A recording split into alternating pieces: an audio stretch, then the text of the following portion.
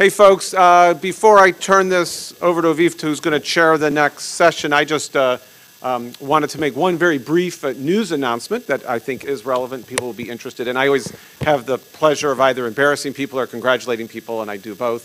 Um, But um, uh, one of the people amongst us today, who's actually here um, at this meeting, when he probably should be in his home country, because an announcement just got made today about this, is Ewan Birney. And um, Ewan has, uh, along with Rolf Apweiler, has been appointed the joint, as joint directors of the European Bioinformatics Institute, EMBL EBI, something that'll take effect July 1st. I think we all should congratulate Ewan.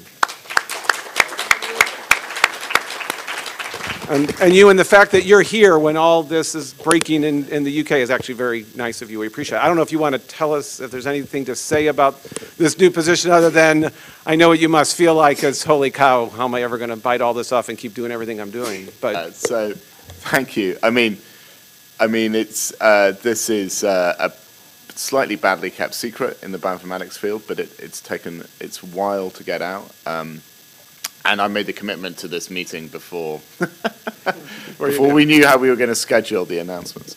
Um, uh, but I think one of the key things, though, is that both Rolf and I really see the importance of international collaboration. The Human Genome Project has been part of that, but this molecular biology is a remarkable science in the way that we have shared across the world since, arguably since Morgan in the 1900s, certainly since PDB and proteins um, in the 1970s, uh, DNA, um, uh, and the Genome Project.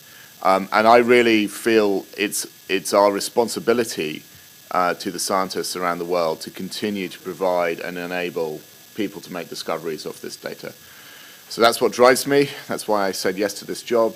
Um, uh, you know, it's, it's kind of one of the reasons why I'm here, um, uh, is to, to enable that to happen uh, around the world. So, Uh, And I very would simply add, we've, we've, we've had great relationships with Janet when she's been in charge, and, and not only NIH, and particularly NHGRI, obviously, terrific relationship with Rolf, and particularly Ewan, who we regard as part of our extended family. I think this is fantastic from our perspective, because it means yet more opportunities to collaborate, interact on, a- on, on a global stage. And so, we think this is great, and we congratulate you. So, thank you.